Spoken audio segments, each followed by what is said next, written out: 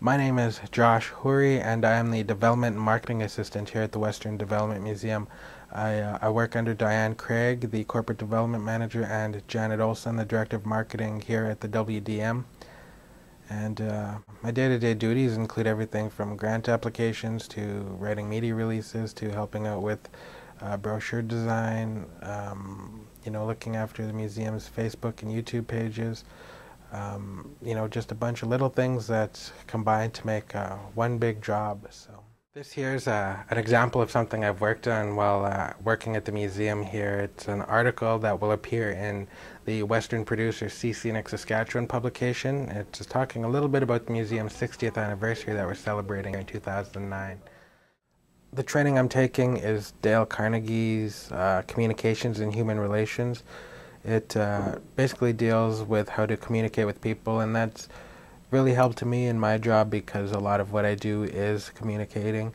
Um, you know, whether it be with, uh, to some extent, the media or the general public, which is basically who I communicate a lot with. It, it's really made it easier for me to approach people to talk to, and my manager, uh, Diane, has told me that she's really noticed an improvement in, in my confidence.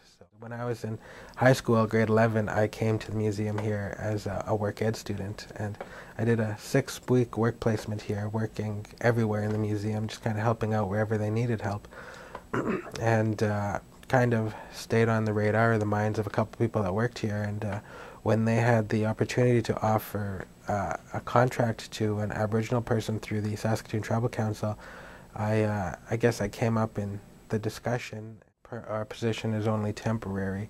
Uh, they do hope to be able to, you know, offer me permanent employment eventually, but if that doesn't happen, I uh, have intentions to go into radio broadcasting. I think there's always room for, you know, personal development, um, whether it be, you know, learning a new skill at your job or, you know, taking some sort of formal training as I am with Dale Carnegie.